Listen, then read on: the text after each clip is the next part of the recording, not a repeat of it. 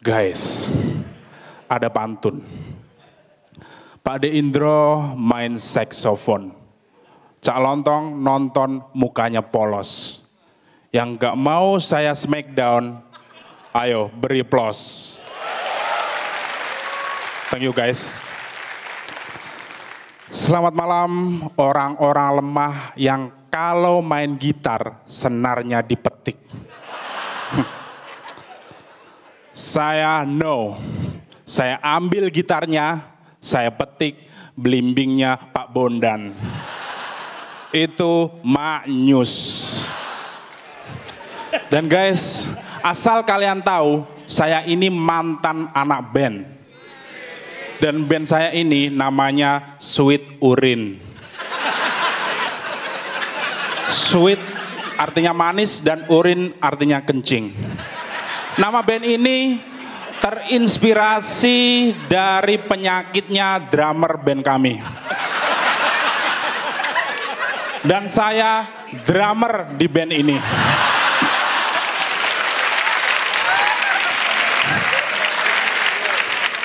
Pernah band kami manggung membawakan lima album. Sambutan penonton antusias penonton minta kenang-kenangan dari band kami. Oke, okay, fine. Vokalis kami copot kaos, lempar ke penonton, tangkap, satu orang senang. Gitaris kami lempar pick gitarnya, tangkap, satu orang senang. Saya sebagai drummer, saya lempar drum, dua meninggal. Dan guys, Alhamdulillah akhirnya saya dipecat dari band Sweet Urin ini. Karena jujur aja, di band ini saya drummer yang pemalas. Drummer yang malas mukulin drumnya. Karena saya kalau mukulin drum pakai jasa debt collector.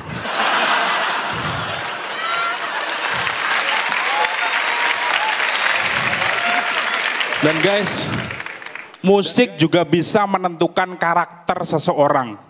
Dan pacar saya, bapaknya suka musik metal. Beliau arogan dan ngeselin. Namanya Pak Samsul. Pak Samsul ini sangat mendambakan menantu seorang dokter.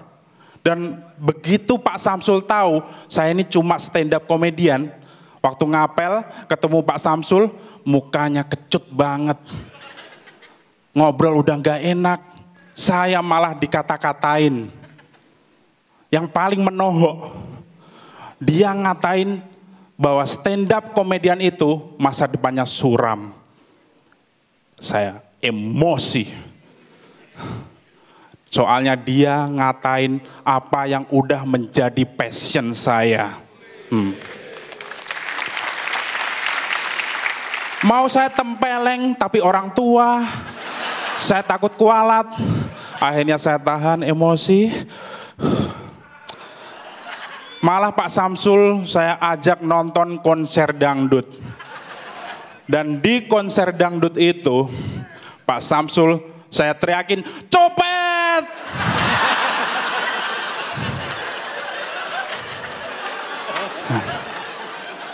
Mamam. Saya Coki, kentut lip sync. Coki Anwar.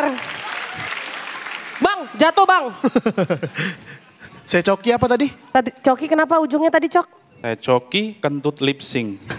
Waduh, kentut lip sync gimana? Sulit. Kentut lip sync. Eh, kamu sebagai pria temperamen dan juga adrenalin, uh -huh. musisi kesukaan kamu siapa? Elvi Sukaisi.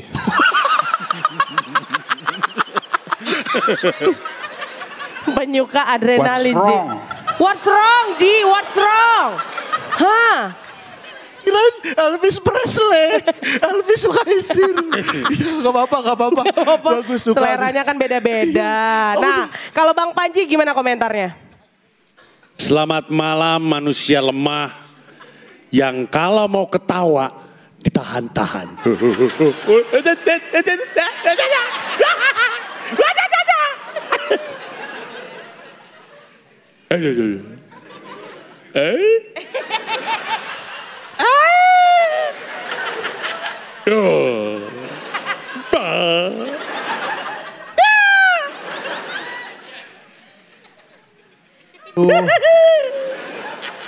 Coki, lu mukul drum pakai debt collector.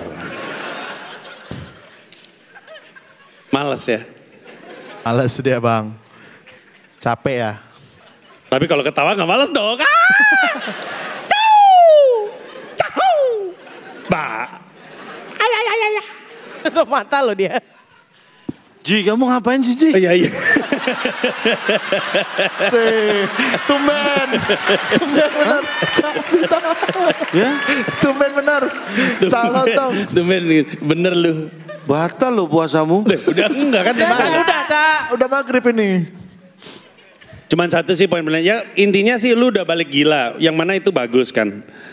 Eh, cuman tadi lu cerita panjang gue dengerin tuh cerita si soal Pak Samsul itu. Gue ikutin, gue ikutin. Sambil gue mikir kenapa gue dengerin nih orang. Pasti ceritanya nggak beres. Sayangnya ceritanya begitu panjang. Nanti kalau lu lihat ceritanya panjang. Jadi lu ngorbanin LPM untuk sesuatu yang impal, imbalannya di belakang nggak terlalu juga. Poin gue itu sih. Kalau kalau lu rasa punchline-nya nggak gitu gede di belakang, tengahnya lu kasih half punch biar nggak kosong banget. Tadi tadi kosong panjang loh, panjang banget. Oh ini harusnya ketawanya gede di belakang tapi nggak terlalu. Jadi sayang aja. Secara keseluruhan sih oke manggungnya, cuman masalah kendala-kendala teknis kecil aja. Saya Panji batu ginjal. Nggak terlalu. Dah thank you Cok. Dah. Eh. Nggak ya, udah kalau gitu. Thank you. Makasih Bang Oke. Panji. Silakan temannya Coki Calontong. Sahabat baik bahkan ini. Dok, Ya Cak. aku tuh mau menilai kamu itu kadang-kadang gimana ya? Saya melihat, kadang-kadang menilai kamu itu melihat reaksi penonton. Penonton tertawa, berarti mereka tahu gitu. Kalau penonton gak tertawa, berarti kamu belum tampil. Nah betul, betul. Kamu seperti saya katakan, kamu itu tidak ada teori yang kamu pakai stand up pakai karakter bukan pakai teori. Saya pakai karakter kamu dan seperti katakan itu memberi harus kuat dengan kejutan-kejutan.